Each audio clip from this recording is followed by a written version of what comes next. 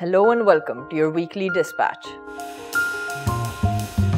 We start with the top news from Pakistan. Political turmoil rears its head in Pakistan, where former Prime Minister and popular political leader Imran Khan was arrested on Tuesday on charges of corruption, leading to violent protests and widespread vandalism of both military and civilian government buildings. This level of unrest has not been seen in Pakistan's turbulent political history for many years. The Islamabad High Court had earlier ruled the arrest as lawful, while the Supreme Court of Pakistan on Thursday struck it down as illegal and directed the Islamabad High Court to hear the bail petition immediately. As we record this story, Imran Khan has been granted bail in the case pertaining to the Al Qadr Trust. While the government claims that the law is being followed, supporters of the former Prime Minister see this as an act of political victimization by the ruling PDM coalition and the military for Imran Khan's criticism of the military's role in politics. The sitting Prime Minister of Pakistan, Mr. Shehbaz Sharif, taking a stern position on the violence, said the terrorists and elements who are enemies of the state should immediately desist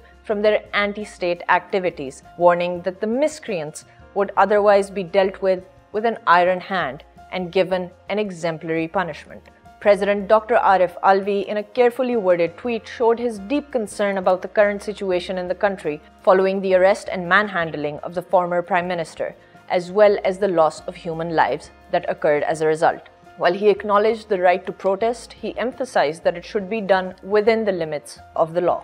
Scores of political leaders from Imran Khan's party, Pakistan Tehreek-e-Insaf, and thousands of protesters have been arrested. There have also been reports of a number of people killed as a result of the government crackdown. Khan has been booked in more than 100 cases since his ouster from the government in April 2022 by a vote of no confidence. Many of his supporters believe that the charges against him are politically motivated and aimed at suppressing his voice. The international community, including the UN Secretary General, has voiced concern about the situation in Pakistan and called for all sides to refrain from violence, respect human rights, rule of law, and democratic norms. The ongoing unrest in Pakistan is a cause for serious concern, and it remains to be seen how the situation will develop in the coming days and weeks.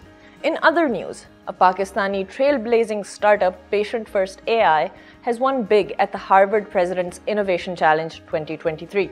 The healthcare startup aims to develop a digital health card to store, analyze, and monitor a patient's health records all in one place, making it easier to share with physicians, pharmacies, and labs in developing nations. The founder of the startup, Fiza Shaukat, expressed her gratitude for the recognition and said that it reaffirms their belief in the potential of their platform to improve healthcare access for millions of people in developing nations. A thing to ponder as the educated class flees while Pakistan grapples with polycrises, including volatile political and economic climate, as well as a distrust in state institutions. What future does Pakistan have? We'd like to hear your thoughts in the comments below.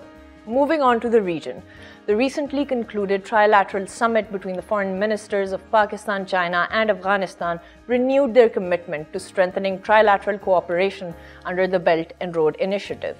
They also announced plans to extend the China Pakistan Economic Corridor, CPEC, to Afghanistan and leverage Afghanistan's potential as a hub for regional connectivity. The meeting highlighted the significance of ongoing projects such as CASA 1000, TAPI, and Trans-Afghan Railways to boost regional connectivity and promote economic development. The three parties emphasized the need to advance both hard connectivity in infrastructure and soft connectivity in norms and standards. While the trilateral summit is aimed to boost regional cooperation, China's ties with the West continue to deteriorate. Just this week, China expelled a Canadian diplomat from Canada's Shanghai consulate to reciprocate a similar move earlier by Canada. China claimed that its designation of Canadian diplomat Jennifer Lynn Lalonde as persona non grata was a reciprocal countermeasure against Canada's unscrupulous move. Hours earlier, the Canadian foreign minister announced that it would expel Chinese diplomat Zhao Wei over an alleged intimidation campaign. According to Canadian media, the campaign targeted the Canadian politician Michael Chong and his next of kin in China over the politician's criticism of China's treatment of the Uyghur Muslim community.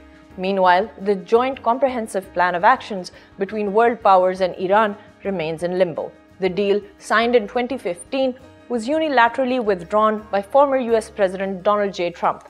Despite the efforts of the Biden administration to renew the deal, it is nowhere near being renewed, owing to the reluctance of the US administration to lift sanctions that Iran considers vital to move forward. This overall scenario increases the possibility of a nuclear armed Iran higher than ever before. The US National Security Advisor Jake Sullivan has stated that the Biden administration will not rule out all actions necessary, including Israel's freedom of action. Israeli Prime Minister Benjamin Netanyahu has also doubled down by announcing that Israel is ready to fight Iran on multiple fronts and prevent them from establishing terror fronts and obtaining nuclear weapons, stating that Iran is responsible for 95% of Israeli security problems.